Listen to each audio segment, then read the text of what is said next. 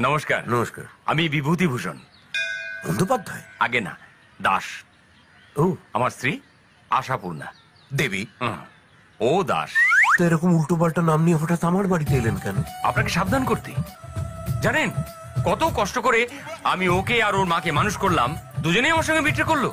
কাকে আর কার মাকে? বলছি দু মিনিট ধৈর্য ধরে আমার কথাটা শুনুন। আমি ওকে বললাম এম টেক করতে। ও করল না ও এম তে ভর্তি হলো। কেন জানেন? কেন? সেখানে যে ও রয়েছে। কি? ওই তো আপনার বাহ।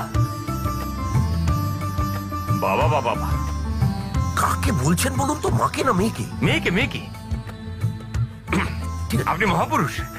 আপনাকে দর্শন করে আমার জীবন ধন্য হলো। আসলে আমি পাশের বাড়ি যেতে গিয়ে বাড়িতে ঢুকে পড়েছিলাম।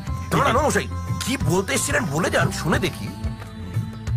জয়ের অনেক গুণ। সিও সুন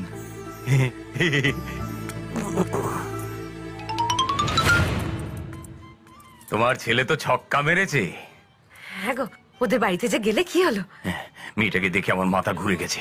শোনো এখন থেকে ওই মেয়েটার সামনে আমাদের ছেলেকে হিরো বানাতে হবে। তুমি রোজ ওর জামা প্যান্ট ইস্ত্রি করে দেবে। আচ্ছা। আর এটা দু দশ টাকার খেলা নয়। পকেট থেকে রুমাল বার করতে গেলেই যেন পাঁচশো টাকার নোট নিচে পড়ে। তুমি ওকে চকচকে রাখবে আর আমি ওর বাইক চকচকে রাখব।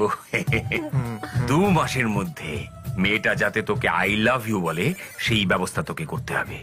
চক দে রবিও হ্যাঁ গো ওরকম মেয়ে আমাদের ছেলেকে পুজবে? এমনিতে ওদের বাড়ি ধোপাও হতে পারবে না।